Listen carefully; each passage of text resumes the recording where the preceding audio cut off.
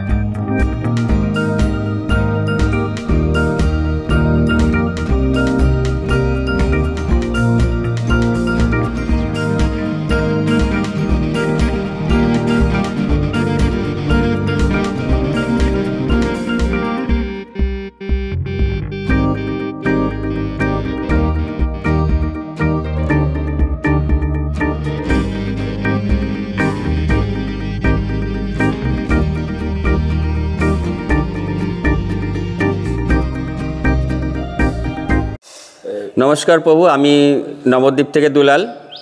হরে তা আপনাদের গৌরী মঠে সার্বভৌম গৌরী মঠে এসছি। দর্শক বন্ধুদের কিছু দেখানোর জন্য তুলে ধরার জন্য এই সার্বভৌম গৌরী মঠের তত্ত্ব কিছু বিষয় জানাবার জন্যে। তা আপনি দু চার কথা একটু বলুন আর সর্বপ্রথমে বলুন আপনার কি নাম? আমার নাম গৌতম প্রভু।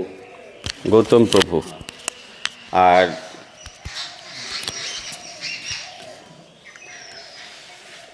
নয়টা দ্বীপ নিয়ে নবদ্বীপ ধাম, তার মধ্যে এটা হচ্ছে জন্মদ্বীপের অন্তর্গত। এই জন্মদ্বীপে জন্মমণি গৌর আরাধনা করে, গৌর কৃপা লাভ করেছিলেন।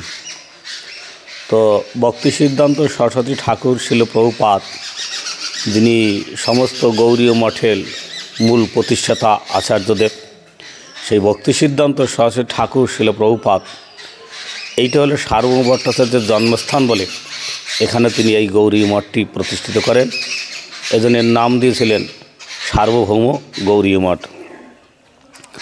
তো এখানে রাধা শ্যামসুন্দর ও গৌরঙ্গ মহাপ্রভু বিগ্রহ তিনি প্রতিষ্ঠিত করেন। তাই নয়টা দ্বীপ নিয়ে নবদ্বীপ ধাম, সে নবদ্বীপ ধামের পরিক্রমার মার্গের ভিতরেই এই মন্দিরটি পড়েছে, জন্মদ্বীপের অন্তর্গত। তো সার্বভৌম ভট্টাচার্য, ইনি ছিলেন দেবগুরু বৃহস্পতির অবতার। দেবতাদের গুরু বৃহস্পতি, অসুরদের গুরু শুক্রাচার্য। সেই দেবগুরু বৃহস্পতির অবতারই এই সার্বভৌম ভট্টাচার্য। সার্বভৌম ভট্টাচার্যের পিতার নাম ছিল মহেশ্বর বিশারদ। সেই মহেশ্বর বিশারদের দুই পুত্র, সার্বভৌম এবং বিদ্যা বাচস্পতি এনরা দুইজনই মায়াবাদী পণ্ডিত ছিলেন। মহাপ্রভু তিনি স্বয়ং সাক্ষাৎ, স্বয়ং ভগবান, স্বয়ং কৃষ্ণ। তিনি এই অবতারে চৈতন্য মহাপ্রভু নামে তিনি জগতে প্রকাশিত হয়েছেন। তো এই চৈতন্য মহাপ্রভু তারই নিত্য পার্শ্বদ, এই সার্বভৌম ভট্টাচার্য। তো উনি তো সেই স্বরূপের পূর্ণের কথা তার, পূর্বের কথা তার স্মরণ নাই, যে উনি এই গঙ্গানন্দপুরে জন্মগ্রহণ করে এখান থেকে তিনি নেপালে সেই মিথিলা জনক রাজার দেশ সেখানে থেকে বিদ্যা শিক্ষা অধ্যয়ন করার জন্য গিয়েছিলেন। এনার আগের নাম ছিল বাসুদেব ভট্টাচার্য। পরবর্তীতে তিনি ওখান থেকে লেখাপড়া শিখে বিদ্যা অধ্যয়ন করে তাকে উপাধি দিয়েছিল বাসুদেব সার্বভৌম ভট্টাচার্য। পৃথিবীর ভিতরে নৈয়িক ন্যায়শাস্ত্র সম্বন্ধে তিনি বিরাট পণ্ডিত ছিলেন। তার অগাধ পাণ্ডিত্য ছিল। অগাধ জ্ঞান অগাধ জ্ঞান অর্জন করেছিলেন তিনি। এই জন্য ওনাকে সার্বভৌম উপাধি দিয়েছিলেন। তো এখানে ওনার ভাই বিদ্যাবাচস্পতি তিনিও এরা দুইজনই মায়াবাদী ছিলেন।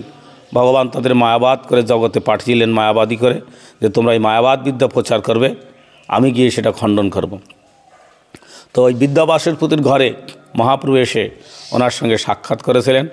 ওনাকে সে বলেছিলেন যে, আপনি যে বিদ্যা অধ্যয়ন করছেন বা যে বিদ্যা ভক্তির কথা জগৎ জীবকে জানাচ্ছেন, এর দ্বারা প্রকৃতপক্ষে জীবের আত্মার মঙ্গল হবে না। আপনি শুদ্ধ ভক্তির কথা জগতে প্রকাশ করুন। এইভাবে ওনাকে এক রাত্র ওনার ঘরে থেকে ওনাকে কৃপা করেছিলেন প্রভু, তত্ত্বজ্ঞান লাভ করাইছিলেন, তত্ত্বজ্ঞান দান করেছিলেন। আর মহাপ্রভু পুরীতে যাওয়ার আগেই সার্বভৌম ভট্টাচার্য পুরী ধামে সাড়ে তিনশো ফ্যামিলি ব্রাহ্মণ পরিবার বাস করেছেন, এটা আমরা শুনতে পাই। তো ইনি এখান থেকে পুরীধামে চলে যায়, পরবর্তীতেই মহাপ্রভু সন্ন্যাস নিতে নিয়ে পুরীতে চলে যায়। পুরীতে চলে যাওয়ার পরেই চৈতন্য মহাপুর সঙ্গে সার্বভৌম ভট্টাচার্যের সঙ্গে যখন সাক্ষাৎ হয়, তখন সার্বভৌম পণ্ডিত মহাপুকে বলল যে, তুমি তো ভারতীয় সম্প্রদায়ের সন্ন্যাসী, কেশব ভারতী তোমার সন্ন্যাস গুরুদেব, তাহলে তুমি এত অল্প বয়সে সন্ন্যাস নিয়েছো, কি করে সন্ন্যাস ধর্ম রক্ষা করবে? মহাপ্রভুকে বলছেন, তো প্রভু তো কাউকে উপেক্ষা করে না, প্রভু বললেন, তাহলে আমার কি করতে হবে? বলল, না, তুমি আমার কাছে বেদান্ত শ্রবণ করো। বলল, তাই হবে। উনি বেদান্ত শ্রবণ করাচ্ছে আর চৈতন্যদেব উনি শুনছেন। এভাবে সাত দিন পর্যন্ত শুনছে আর উনি বলছে, সাত দিনের পরে সার্বভৌম পণ্ডিত চৈতন্য মহাপুকে বললেন, পারছ না, ভালো মন্দ না হওয়া কোনো কথাই তো বলছো না। পরবর্তীতে মহাপ্রভু বলল, আমি আপনার এই বেদান্তের মূল শ্লোক যেটা, সেটা ভালো বুঝতে পারছি। কিন্তু আপনার যে যে নিজের ব্যক্তিগত যে সূর্য উদয় হয়েছে, একটা মেঘ এসে তাকে আড়াল করে দিয়েছে। অর্থাৎ সঠিক ব্যাখ্যা যেটা, সেটা করছে না। এই জন্য মহাপ্রভু কথা বলছেন। মহাপ্রভু ওনাকে একটা ভাগবতের শ্লোক ব্যাখ্যা করতে বলেছিলেন। আত্মা রামায় মুনয় নির্গ্রন্থ অপুরুকমে যদহিত মিথম্বুত গুণ হরি। এই ভাগবতের শ্লোক ব্যাখ্যা করতে বলেছিলেন। সার্বভৌম পণ্ডিত এটা কিছুই মনে করলেন না। উনি ঝড়ের বেগে এই শ্লোকটাকে নয় প্রকারে আলাদা আলাদা করে নয় প্রকারে ব্যাখ্যা করে শুনেলেন চৈতন্য মহাপ্রভু দেখলেন, উনি যা ব্যাখ্যা করলেন, সবই সেই মায়াবাদ ব্যাখ্যা। তাতে প্রভুর মনে সন্তুষ্ট হচ্ছে না। প্রভু পরবর্তীতে সেই শ্লোক আঠারো প্রকার ব্যাখ্যা করে শুনাইলেন। সার্বভৌম পণ্ডিত এই ব্যাখ্যা শুনে তার মাথার টনক নড়ে গেছে। আরে, আমি যাকে এত হেয় জ্ঞান করেছিলাম, সাধারণ মনে করেছিলাম, তাহলে এই যা ব্যাখ্যা করেছে, এ তো সাধারণ কোনো মানুষ হবে না, সাধারণ কোনো জীব হবে না। তখনই আচ্ছা গৌর হরিকে দর্শন করে ওনার চিত্তের মলিনতা, আবিরতা, তার অহংকার দূরীভূত হয়ে গেছে। উনি তখনই বুঝতে পেরেছে মহাপ্রভু। বলে, তাহলে তুমি একবার আমার স্বরূপটা দর্শন করো।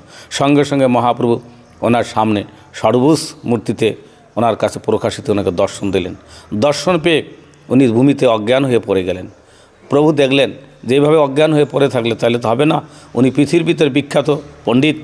এনার দ্বারা এই জগতে আমাদের কথা প্রকাশিত হবে। ভক্ত যদি না থাকে, তাহলে ভগবানকে কে প্রকাশ করে? এ বিখ্যাত পণ্ডিত তাই এরা যারা নির্ধারিত করবে সেইটাই সাধারণ মানুষ মেনে নেবে। তাই মহাপ্রভু ওনাকে মাথায় হাত দিয়ে দিব্য জ্ঞান দান করলেন। উনি চেতন পেয়ে, জ্ঞান ফিরে পেয়ে বলল, ঈশ্বরের কৃপালেশ হয়তো যাহারে সেই শিষ্যর তত্ত্ব জানিবারে পারে। আর বলল, পহিলে দেখিলাম তোমার সন্ন্যাসীর রূপ, এখন কেন দেখি তোমার শ্যামগপরূপ তোমার সামনে দেখি কাঞ্চন পাঞ্চলিকা, তার শ্রীরূপে তো তোমার শ্রীঅঙ্গ ঢাকা। এই কথা বলছেন। অর্থাৎ তুমি যে প্রথমে যখন এলে, তখন দ্বিভুজ, সন্ন্যাসী, দণ্ডকমণ্ডল হাতে। আর এখন তুমি আমার সামনে এইভাবে ষড়মুজ হয়ে দাঁড়ালে, তুমি কে? সাক্ষাৎ বিষ্ণু, সাক্ষাৎ নারায়ণ। দেখে উনি অজ্ঞান হয়ে পড়ে গেছিলেন। প্রভু ওনাকে কৃপা করলেন। প্রভুর স্মরণে অবনত মস্তকে দণ্ডবাদ প্রণাম করে তিনি বললেন যে, প্রভু, আমি আমার এই আত্মহংকারে, এই পাণ্ডিত্যনে বিদ্যার গৌরবে আপনার সঙ্গে আমি কাকের মক্ত তর্কযুদ্ধ করেছিলাম। আপনি করুণা পরবাস হয়ে আমাকে কৃপা করে এখন কাক থেকে গরুরে পরিণত করছেন, এইটি আপনার অশেষ করুণা। এই বলে মহাপুর স্মরণে তিনি আত্মসমর্পণ করলেন, ক্ষমা চাইলেন। আর এই সার্বপণ্ডিত তখন গৌর হরিকে দর্শন করে তার আত্মতত্ত্ব উপলব্ধি করার পরে তিনি একশোটা শ্লোক নিজে উদ্গৃত, তার মুখ উদ্গৃত বাণী একশোটা শ্লোক রচনা করে তিনি চৈতন্যদেবের চরণ বন্দনা করেছিলেন। সেই শ্লোকগুলি বৃন্দাবন্দাস ঠাকুর মহাশয় চৈতন্য ভাগবতের অন্তখণ্ডের শেষের দিকে তা বর্ণনা করেছেন। হরে কৃষ্ণ হরে কৃষ্ণ কৃষ্ণ কৃষ্ণ হরে হরে হরে রাম হরে রাম রাম রাম হরে হরে হরি বল। আচ্ছা নয়টা দ্বীপ যে বললেন আপনি নয়টা দ্বীপ আমাদের কোথায় কোথায় এবং কি নাম আছে একটু বল অন্তদ্বীপ সীমান্তদ্বীপ গোদ্রম দ্বীপ মোদদ্রম দ্বীপ কোলদ্বীপ ঋতুদ্বীপ জন্মদ্বীপ মধ্যদ্বীপ আত্মদ্বীপ। এই নয়টা দ্বীপ। দর্শক বন্ধুরা আমরা এই সার্বভৌম যে গৌরীয় মঠ আর এই সার্বভৌম গৌরীয় মঠের বাসুদেব যে ভট্টাচার্যের জন্মস্থান। জন্মস্থান তার বিষয়বস্তু তথ্য আমরা এখানে আমি পূজারী সেবক। এখানে এই যে আরেকজন মহাপুরুষ রয়েছেন ইনি পূজারী। তাই এর মুখ থেকে আমরা অনেক কিছু জানতে পারলাম। খুব ভালো লাগল এবং সত্যি নিমাইকে জানতে হলে আপনাদেরকে এরকম জায়গায় আপনাদেরকে আসতেই হবে। অন্তত জীবনে একবার আসুন। মায়াপুর নবদ্বীপ দাম আপনারা অনেক দেখেছেন। এই গৌরীয় মঠ এবং আপনার এরই পাশে যে রয়েছে নিমাই পাঠশালা এ আপনারা দর্শন করে যান সত্যি আপনাদের জীবন ধন্য হয়ে যাবে। হরে কৃষ্ণ। হরে কৃষ্ণ। দর্শক বন্ধুরা নবদ্বীপে যে নয়টা দ্বীপ নিয়ে গঠিত সেই নয়টা দ্বীপের মধ্যে এই যে সার্বভৌম গৌরীয় মঠ জন্মদ্বীপে অবস্থিত এবং এই সার্বভৌম গৌরীয় মঠের জেনে নিলাম অনেক কিছু। বিষয়বস্তু এবং ইতিহাস। বন্ধুরা, আজকের মতো ভিডিওটা এখানে শেষ করছি। দেখা হচ্ছে আগামী পর্বে। বন্ধুরা, এই ধরনের ভিডিও এবং তথ্য জানতে হলে চ্যানেলটি সাবস্ক্রাইব করে রাখুন।